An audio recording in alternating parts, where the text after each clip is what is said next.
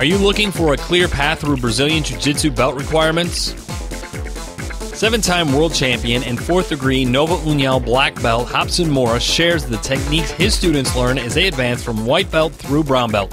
This five DVD series takes you through the minimum knowledge and techniques for each belt and concludes with an outstanding Brazilian Jiu Jitsu strategy discussion and interactive technique training with Robson.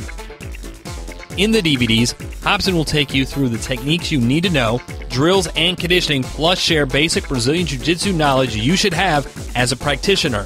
Build your skills, have fun, and learn from the best. DVDs available now at www.robsonmoura.com. DVDs are available now at robsonmoura.com.